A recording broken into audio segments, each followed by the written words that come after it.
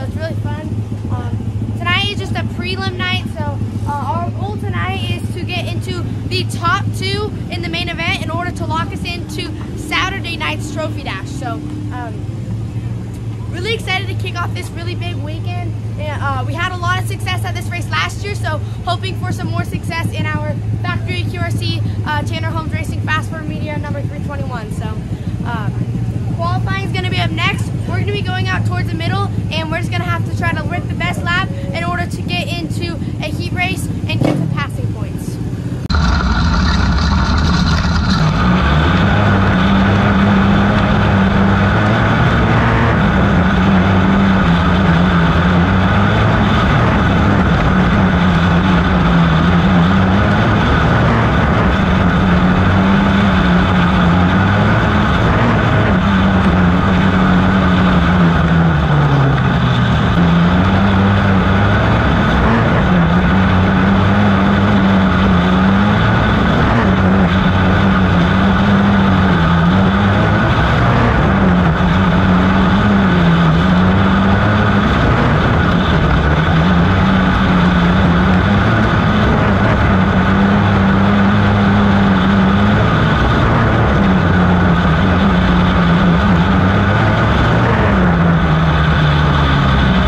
Well, qualifying's complete here at the Roseburg Indoor, and qualifying went all right for us.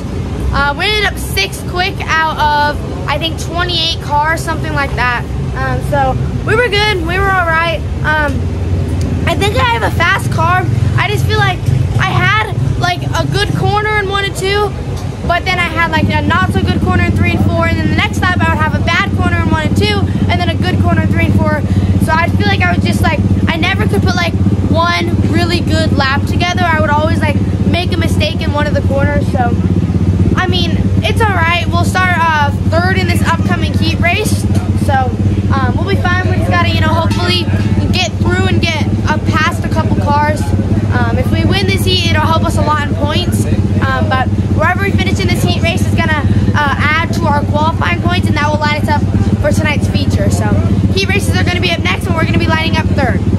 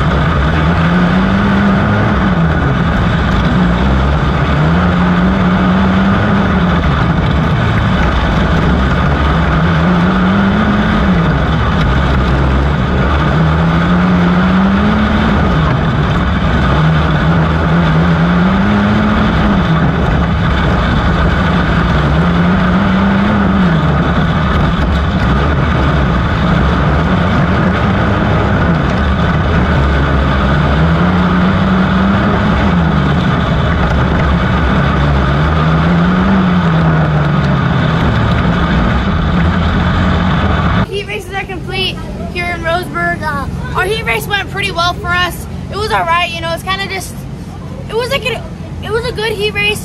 There's not really anything we could have done better. Um, we just didn't get exactly the results we wanted. We still went up one position, but I was kind of hoping to, you know, get into the front of that heat race. But um, we started off good. We uh, got into second right off the bat, and we were fast. My car feels good, and I think, like I said, I think we're fast. But it's just hard because whenever I'd get inside of the leader, he would just put me in the infield, and I mean, he was uh, whenever I'd get a run, he would just you know, you know, do whatever he can to like get me out of the way and and you know, basically try to wreck us. But like we were able to you know keep it going. But I mean, it was just it was just a tough heat. We were all right though. I mean, there's nothing to hang our heads on. The track's super hard to pass. So um, it was overall hard just just because it's all on the bottom, so it's hard to pass either way.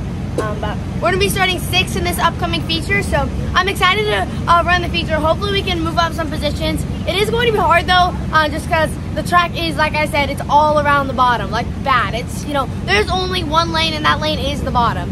Um, so we're just gonna have to try to do our best and get through the field. Uh, I'm gonna, I think I'm gonna try to go to the outside, and, you know, hopefully just get some runs up there uh, and do the best we can. So, uh, main event's gonna be up next. We're gonna be rolling up from six.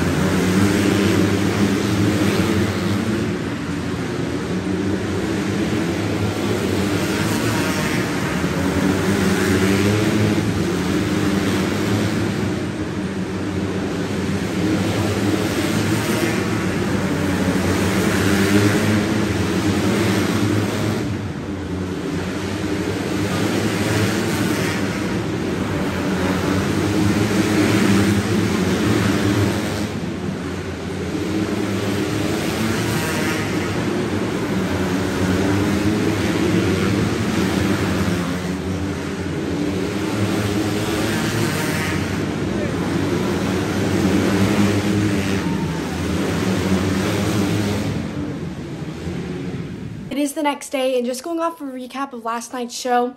Um, last night went really well for 321, but unfortunately we just came off one spot short of that, you know, transfer to lock in straight into Saturday night's dash. Um, but we're going to be back at it tonight to, you know, try to get in the top two once again in order to lock in. Um, but last night went well. We were fast all night. Um, we struggled in qualifying a little bit, but I mean, we still weren't bad. We were sixth quick, so nothing, nothing bad. Um, but we had a we had a decent heat race, and uh, you know we started sixth, I believe, in that main, and I mean we were doing good. I was fast, and um, on one of the restarts, I went to the bottom, and the car behind me kind of just drove on top of me, so that kind of put us to the back.